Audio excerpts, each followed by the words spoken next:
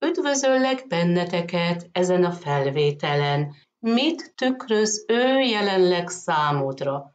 Lehet, hogy te most hibázol, vagy másképp látsz bizonyos dolgokat, és ő szeretné erre felhívni a figyelmedet.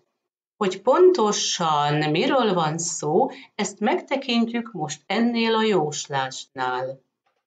Ha megtekintjük a kártyákat ott fent bal oldalon, akkor az utal az ő gondolataira, az ő terveire. A gólyáknál mindig változásokról van szó, gyakran költözködésről.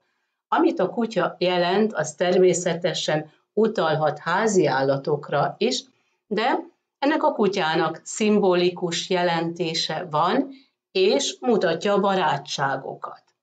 A kutya mellett ott van a koporsó. Az lehet egy régi barátság, hogy valaki visszatért a múltból, és ezáltal változnak nála a dolgok. A koporsó jelentheti azt is, hogy ő elgondolkozik azon, hogy kiben bízhat és kiben nem, és lezárja a hamis kapcsolatokat, ezeket a hamis barátságokat. Ezen a kártyán ott lent bal oldalon látható egy tükör, és ő most belenéz ebbe a tükörbe, mert számára tükröződik valami. Az is lehet, hogy ezeket a hamis barátságokat kellene látnia, mert ez tükrözi számára az élet. Amit ez a kártya még jelenthet, hogy nézegeti magát a tükörben, és tetszeni akar neked, valamit megszépít a külsején, ennek a tükörnek van még egy jelentése. Amikor ő szeretne számodra tükrözni valamit, valamire felhívni a figyelmedet. Miről van szó? Ezt mutatják a következő kártyák. Ő megjelenik itt, mint egy lovag, és átnyújtja számodra ezt az arany érmét, hogy vedd a kezedbe. Itt nem csak anyagiakról vagy a munkáról van szó, hanem a belső értékekről is. Ahogy ő téged lát, arra utal a második és a harmadik kártya. A második kártyánál arról van szó, hogy te figyeled ezt a fát. Ez olyan, mint egy karácsonyfa, és ezek az arany érmék másokra utalnak. Te úgy gondolod, hogy másoknál minden rendben van, hogy azok jobbak, mint te, vagy szebbek, vagy okosabbak. De ott van előtted az arany érem, le kellene hajolni, ezt észrevenni, felvenni, a kezedbe venni, és annak tudatában, hogy mennyire okos vagy, mennyire szép vagy, milyen tehetséges vagy, sikereid vannak.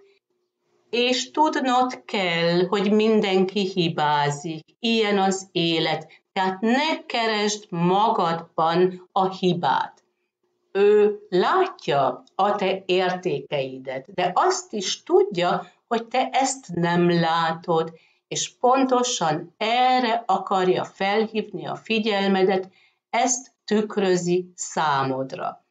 A középső képen látható a kimerültség, a fáradtság, de gyakran jelentheti a félelmeket is. És ez fontos áttenni magadat a félelmeken, a bizonytalanságokon, erre utal ez a kard. Ez nem az ő kardja, hanem ez a tiéd. Vedd kezedbe ezt a kardot. Vágd el ezeket a negatív érzelmeket. És utána látható ez a királynő, és pontosan ezt szeretné elérni, hogy te légy ez a büszke, királynő, aki uralkodik a tűz eleme felett, kimutatja a bátorságát, az élet erejét, a lelkesedést és a szenvedélyeket, ami utal a testi kapcsolatra. Most megtekintjük a kártyákat ott középen, és az utal a jelenlegi helyzetedre. Az első képen látható egy jóindulatú hölgy, aki segít neked az élet utadon. A középső kártya utal erre a sors útra, de jelenti a külföldi kapcsolatokat, vagy utazásokat is. Lehet, hogy ez a hölgy külföldön él, vagy lesz egy közös utazás, vagy egy meghívás, egy látogatás. Amire a középső kártya még utalhat, ezek a változások.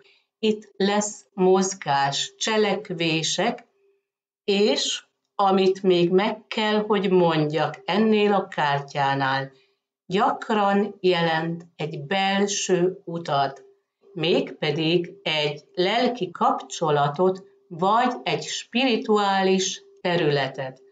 A harmadik kép mutatja azt, hogy szerencséd lesz a párkapcsolat területén. Hogyan tovább, mi várható a közeljövőben, ezt mutatják a következő kártyák. Hasonlóan az előző kártyákhoz, itt ennél a kártya kombinációnál megjelenik a kígyó, és ez utal egy hölgyre. Mellette ott vannak a madarak, és ez jelenti a beszélgetéseket. Azon kívül a levegő elemét, ezt a könnyűséget, és ez a nagy medve utal az erőre. Tehát ez a hölgy segít neked. És ezek a beszélgetések most nagyon fontosak, mert ez neked erőt ad. Amire a kígyó még utalhat, ezek a változások, a megújulások, és most benne vagy ebben a transformációban, megkapod a külső segítséget, hogy megtaláld a belső nyugalmadat, a belső erődet. Erre utal ez a nagy mackó. És én kívánok neked egy szép napot, nagyon sok szeretettel, Dendera.